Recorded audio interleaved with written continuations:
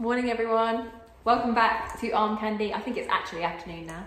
Um, but we are back with some Aspinal of London today. This is an Aspinal of London padlock bucket bag.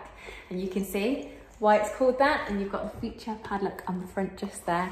It's a really, really nice bag. I'll show you the features of it. So on the bottom, you've got four base studs. You've got this top handle, which is adjustable. So you can make that quite a bit longer actually. It goes really nice and long. Um, you've got this drawstring closure at the top here, which you can tie in a knot. And then you've got the padlock on the front there. And inside this cloche is the key for it as well. Um, inside, let me undo the bow so we can get it open nice and wide, have a look at the inside. Inside, you have got one flat pocket on this side, and then you've got one zip pocket on this side as well. So you've got that really nice big open space inside. Um, and then you've got a pocket as well, so you can keep your safe, your precious things safe um, instead of losing it at the bottom of the bucket. But I love a bucket bag. They're my kind of style. I really like them. Um, I will come back and show you the sizing of it. So here it is on me. I'm about five foot four and a UK size eight. It's really nice and light as well, which is nice. Um, all the exact measurements will be on the website. So if you click the link in the description, it will take you straight to this on our website where you can see all the details about it. Whilst you're there, make sure to sign up to our newsletter, have a look at all of our other bags. Um, but before you do any of that, please like this video, subscribe to our channel and hit the bell so you get alerts when we post new videos. Um, this comes with the Aspinal of London dust bag as well.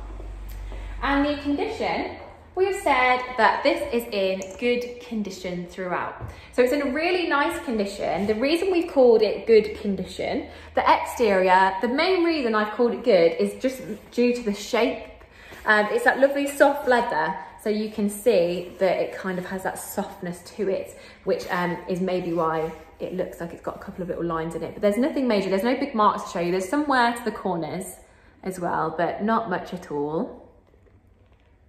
And then just when you have a look at the bag in the light, you can just sort of see there is some scratching to it when you shine it to the light. But again, nothing major. And the interior, we have also called good.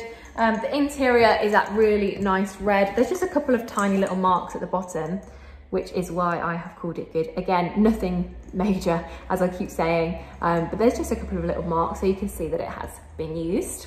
Um, and then the hardware I have also called good. The main reason I've called the hardware good is just because there's a couple of little scratches.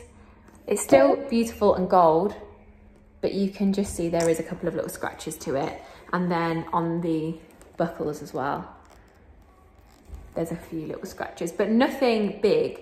It's all sort of hairline. Um, and then on the base studs, there's some wear to them as well. But overall, it's in a really nice condition and it's just a really beautiful style as well. So if you love this, have a look at it. On our website, the link is in the description below. Go and check this out, check out all of our other gorgeous bags and we'll see you very soon with some more arm candy.